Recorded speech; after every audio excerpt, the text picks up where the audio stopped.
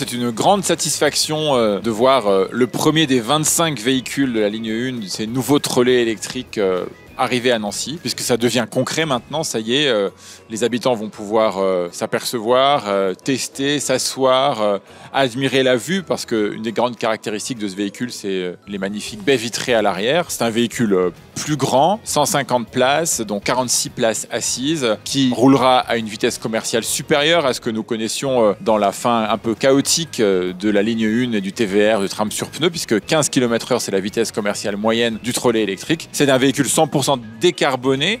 Ça veut dire que nous nous inscrivons pleinement dans les enjeux de transition énergétique et écologique. Et puis c'est un véhicule qui symbolise la transformation d'un territoire, puisque dans son sillage, eh bien, c'est la végétalisation. euh, de l'ensemble de la métropole. C'est euh, le réaménagement des places, d'espaces. C'est une ville plus conviviale, plus agréable. Et puis c'est un mode de transport euh, rapide, efficace, sûr. Encore quelques mois de patience avant de le vivre au quotidien. Mais vous avez rendez-vous euh, dès euh, ce vendredi et samedi à Nancy au point central. Et puis ensuite euh, à Saint-Max. Et c'est Vendœuvre euh, euh, dans les semaines qui viennent pour le découvrir là où il circulera demain.